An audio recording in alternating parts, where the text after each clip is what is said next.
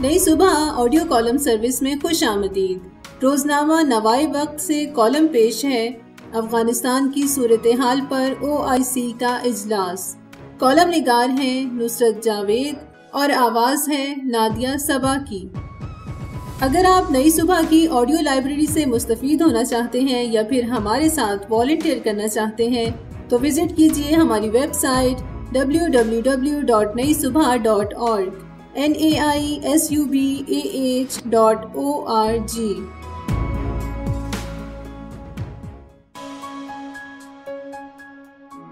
दुनिया के कई ममालिक और खितों में किसी न किसी नो के दंगा फसाद हमा वक्त हो रहे होते हैं। हमारी अक्सरियत को मगर इसका इल्म भी नहीं होता। ये भड़क लगाने की लेकिन हमें बीमारी है कि इस्लाम के नाम पर कायम हुए पाकिस्तान की रियासत, हकूमत और अवाम यकसू होकर दुनिया भर में फैले मुसलमानों की फ़िक्र में मसलसल मुबतला रहते हैं। काश ये दावा मबनी पर हकीकत होता। मस्कूरा दावा पर सवाल उठाने की जसारत इसलिए की है कि चंद दहाइयाँ कबल तक कायम रहे, बरतानवी हिंद का एक इलाका बर्मा भी होता था। रंगून उसका दारुल हुकूमत था, जहाँ एक मशहूर फिल्मी गीत का पिया भी चला गया था और वहाँ से फ़ोन करके अपनी महबूबा को बताता कि तेरी याद सताती है। मुगलिया सल्तनत के आखिरी बादशाह बहादुर शाह ज़फ़र को भी अपनी माजूली के बाद ज़िंदगी के आखिरी अयाम वहाँ बसर करना पड़े थे। बर्मा को अब म्यांमार कहा जाता है। मस्कूरा मुल्क का जो हिस्सा भारतीय सूबा, आसाम और बांग्लादेश से मुल्हिक या समंदरी रास्ते से करीब पड़ता है, वहाँ मुसलमानों की अक्सरियत हुआ करती थी।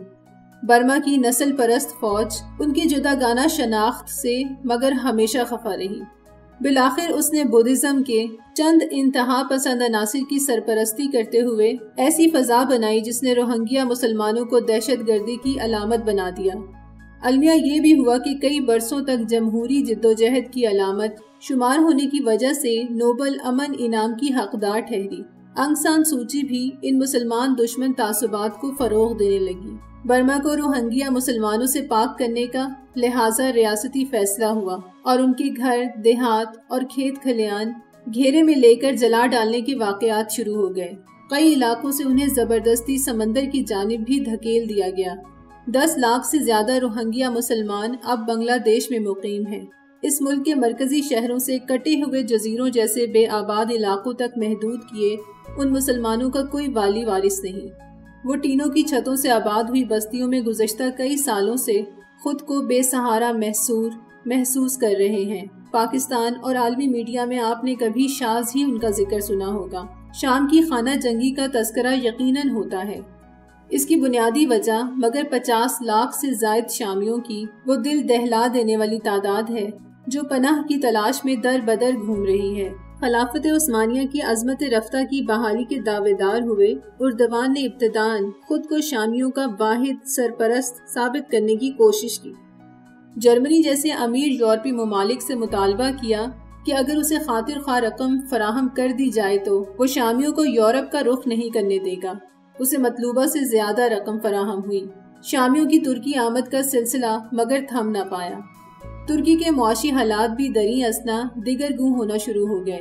अमरीकी डॉलर के मुकाबले में तुर्की का लीरा अपनी कदर मुसलसल खो रहा है। खाने पीने की अशिया के निर्ख महदूद आमदनी वालों की बिसात से कहीं ज़्यादा बढ़ चुके हैं। हकूमती मदद से कायम हुए सस्ती रोटी के तंदूरों के बाहर लंबी लंबी कतारें लगी हैं। जान की अमान पाते हुए फकत एक फिक्रा भारत के कब्जे में रखे कश्मीर के बारे में भी लिखना ज़रूरी समझता हूँ। अगस्त 2019 के दिन से मोदी सरकार ने वहाँ बसे लाखों मुसलमानों को दुनिया से काट कर एक वसी तर जेल तक महदूद कर रखा है। इस्लाम के नाम पर कायम हुए पाकिस्तान ने कश्मीर को हमेशा अपनी शहरत पुकारा। मोदी सरकार के जूतों तले सुलगती, इस शहरत की हिफाजत के लिए हमारी हुकूमत, मगर इस्लामी ममालिक की तंजीम जिसे ओ आई सी पुकारा जाता है, का इजलास तक भी ना बुलवा पाई। अफ़गानिस्तान को मस्कूरा बाला तनाजुर में किसी हद तक खुश नसीब तस्वुर करता हूँ। वो ओ आई सी जो रोहंगिया, कश्मीर और शाम के मुसलमानों के लिए एक लम्हे के लिए भी फिक्रमंद न हो पाई, अफ़गानिस्तान के हालात से घबरा गई है। आज से छह माह कबल ही, अगरचे तालिबान ने 20 बरस की तवील मुजाहमत के बाद दुनिया की वाहिद सुपर ताकत कहलाते अमेरिका को वहाँ से जिल्लत आमेज अंदाज में भागने पर मजबूर किया था।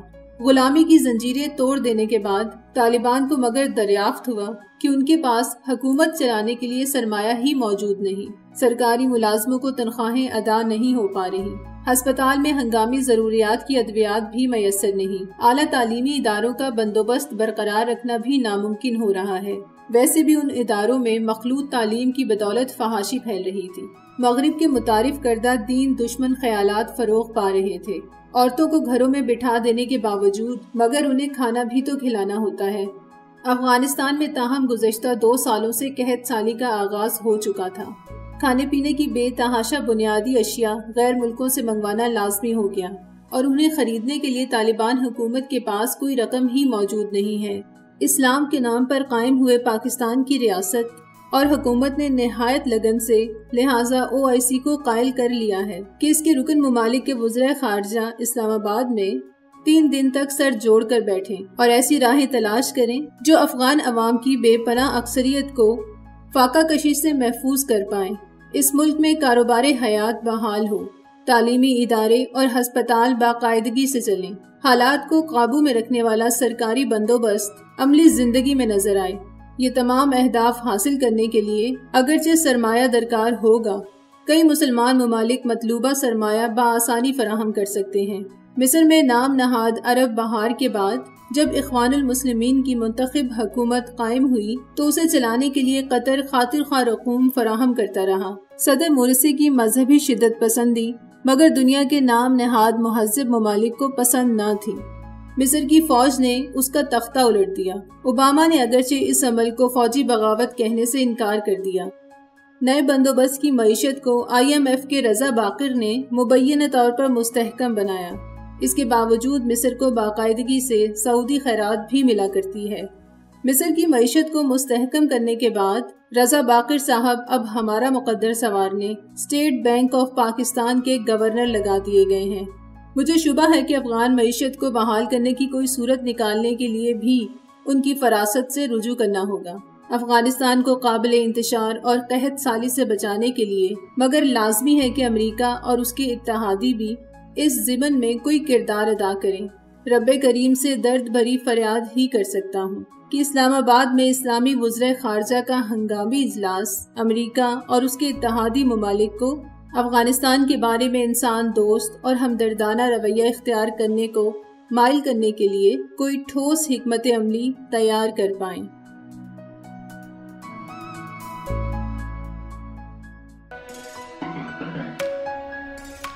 ये मालूमती मवाद नई सुबह की जानब से पेश किया गया।